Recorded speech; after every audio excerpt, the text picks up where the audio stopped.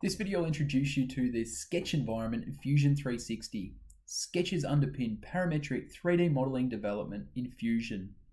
They are the easiest way to produce 3D forms in Fusion. This skateboard deck is simply created via two sketches and two extrusions at the top and the side plane. As you can see how I've gone through and created it with that single sketch, along with the side profile, and then extruding to create the body.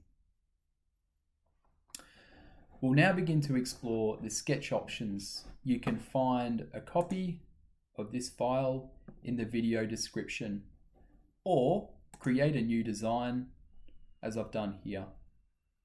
You may wish to play, pause and explore the sketch tools as we progress through the video. To enter the sketch environment, select Solid, Create and create sketch. Select the plane or origin that you wish to draw on. Selecting the XY plane, notice the labels behind the view cube, or selecting the ground. Your view may have changed to a front isometric like mine, or a top view. I suggest change it to the top view so it's in line with the video as we proceed through it.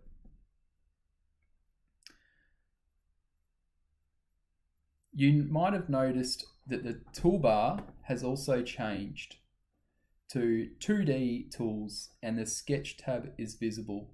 This notifies us that we're currently in the sketch environment. This video will specifically focus on the create tab. In the playlist, there's a video that looks at the modify and the constraint tools. Let's begin sketching.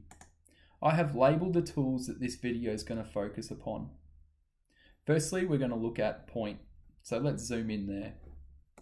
Just using the scroll wheel. Points can be attached to paths or shapes, or just regularly within the drawing uh, board, where dimensions and constraints can be assigned to later. So to create a point, go to create, and then point. So we can draw them in the, on the canvas or the drawing board, along a path, or along a shape that we call a profile, or within it.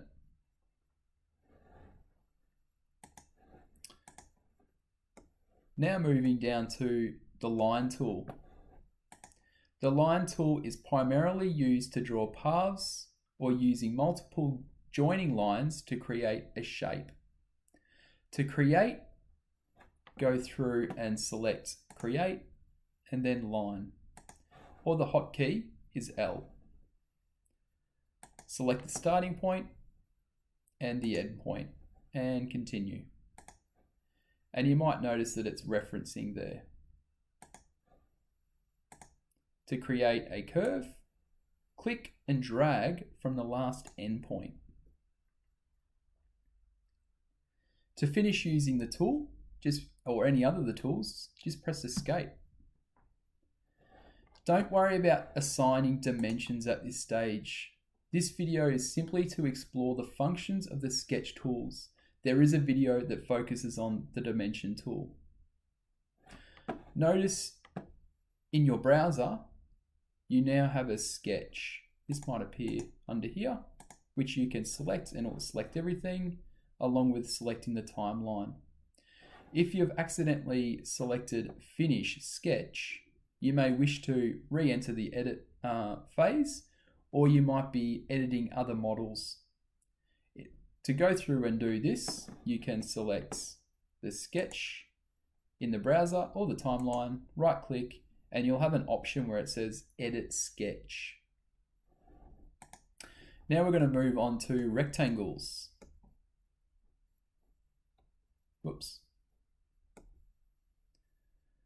The two-point rectangle. This is the most useful tool to create rectangular shapes. We refer to these as pro profiles in Fusion. The hotkey is R. To create it, go to Create, Rectangle, two-point rectangle. Select the starting point and the diagonal. Notice that the shape is filled light blue. This now identifies this shape. In Fusion, we call these profiles. These can later then be converted into 3D forms. There'll be a video based upon this. If it isn't filled, it mustn't be fully enclosed uh, or correctly adjoined. So make these changes. Also notice that the little icons that have appeared around the geometry, these are referred to as constraints. Other CAD modeling programs refer to these as relations. These will automatically appear by the creation of a path or a profile.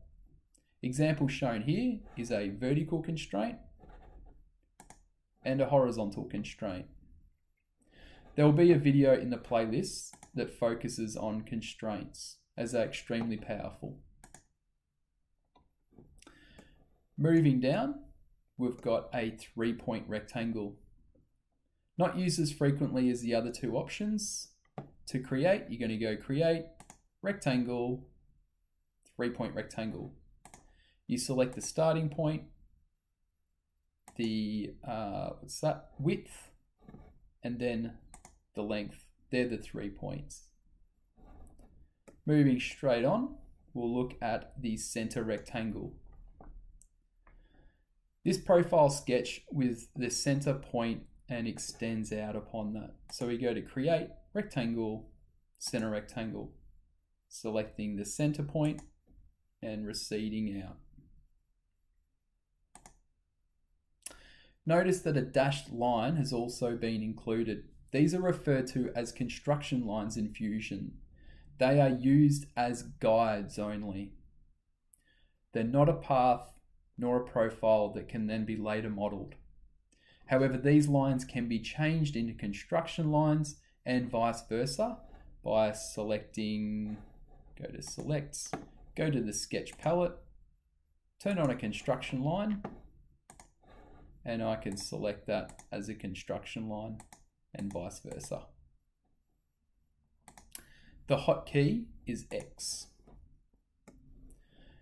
Moving down, we're going to look at ellipses. To create an ellipse or an oval, go to Create, Ellipse. Select the midpoint, select the length, then determine the width. Unfortunately, I've still got the construction line selected, so I'm going to select that body and deselect that construction line. It will appear like this. And you'll notice that um, ellipses also include, naturally include a construction line. Moving out, now we're going to move on to circles. And the center diameter circle to start off. Uh, the hotkey is C. To select a center diameter circle, you go to create, circles, center diameter. Select the midpoint and determine the radius.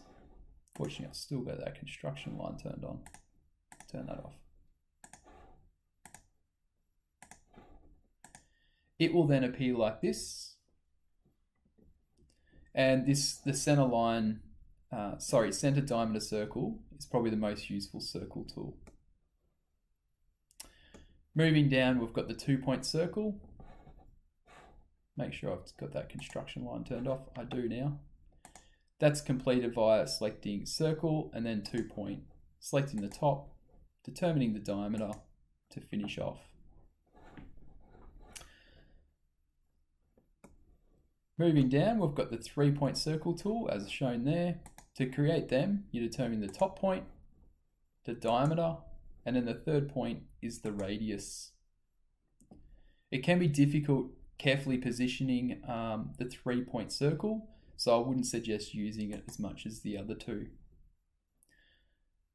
Selections in Fusion can be completed in multiple ways.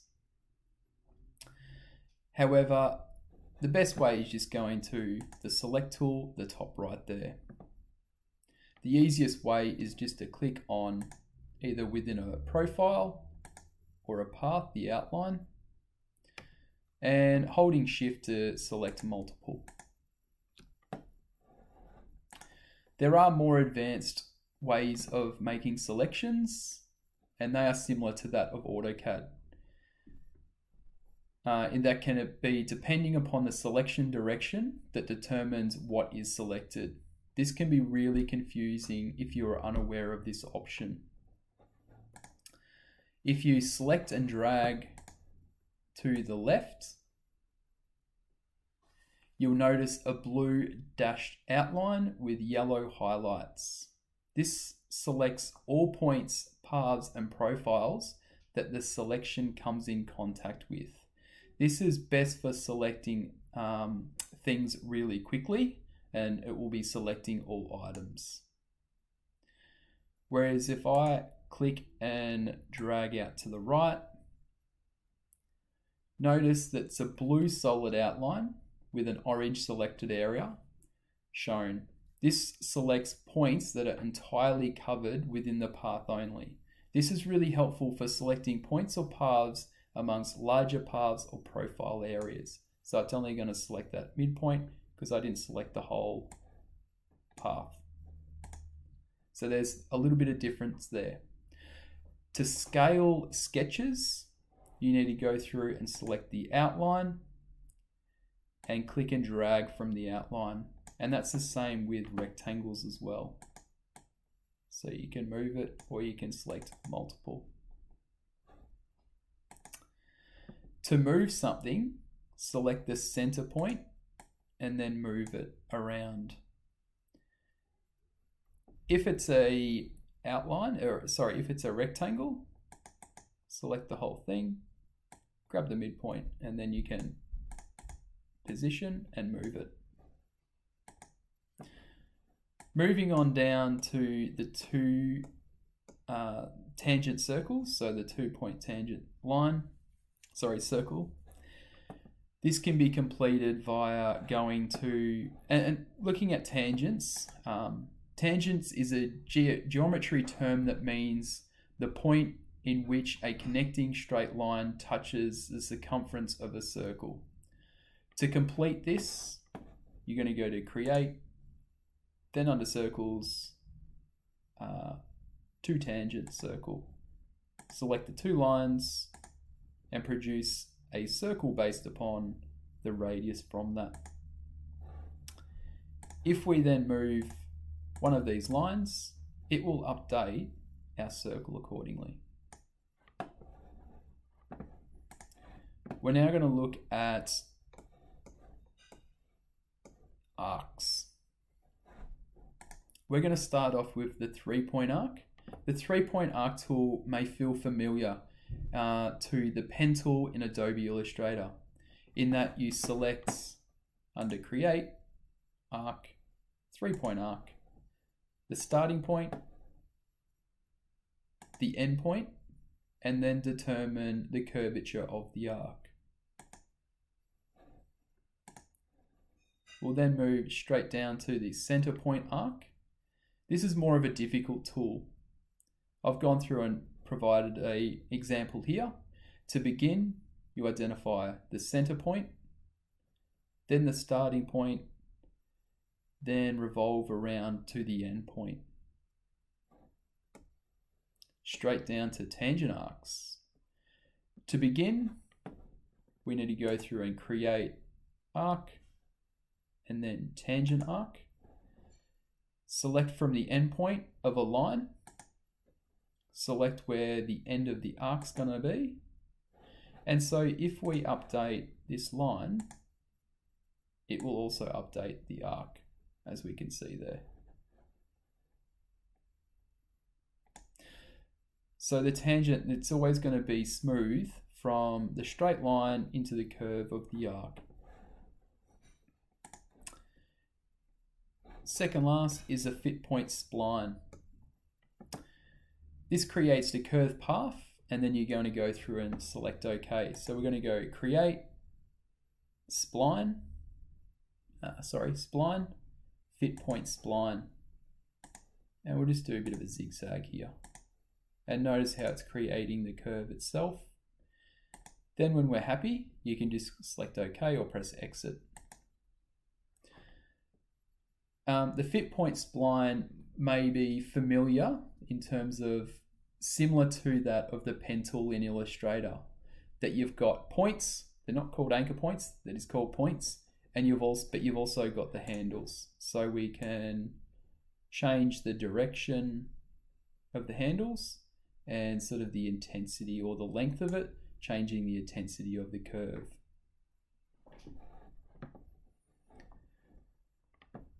Lastly, we've got is the control point spline. This is a different to the um, points created above in terms of the points that are created are more of a, a tension point.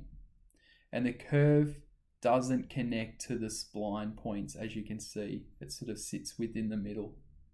More tension can be applied.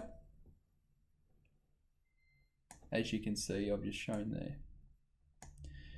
Generally these are more difficult to use the control point spline than the fit point yet there's uh, less points that are needed and generally creates a smoother curve there are other sketch options to go through and explore under the create commands.